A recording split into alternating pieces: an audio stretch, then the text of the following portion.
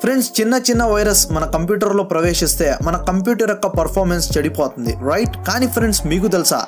మొట్టమొదటిసారిగా క్రీపర్ అనే వైరస్ను పంతొమ్మిది వందల డెబ్బై ఒకటిలో బాబ్ థామస్ అనే వ్యక్తి కనుగొన్నాడు. ఈ వైరస్ అంత ప్రమాదకరమేమి కాదు కాకపోతే ఈ వైరస్ కొన్ని కంప్యూటర్ యాప్స్ను డిలీట్ చేసేది.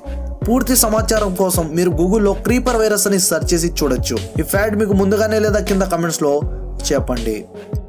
ఫ్రెండ్స్ మీరు ఒక టూత్పేస్ట్ కంపెనీను ప్రారంభించాలి అనే ఆలోచనలు ఉంటే లేదా మీ చుట్టుప్రక్కన ఉన్న వ్యక్తులు ఎవరైనా టూత్పేస్ట్ కంపెనీను ప్రారంభించాలి అనే ఆలోచనలు కనుక ఉంటే మీ టూత్పేస్ట్ రంగును బ్లూ కలర్లో ఉంచండి.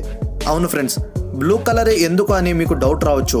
ఈ మధ్యలోనే ఒక రీసెర్చ్లో ముందుకొచ్చింది ఏంటంటే ఎనభై ఐదు శాతం మంది ప్రజలు బ్లూ కలర్లో ఉన్న టూత్పేస్ట్నే ఎక్కువ ప్రిఫర్ చేస్తారు.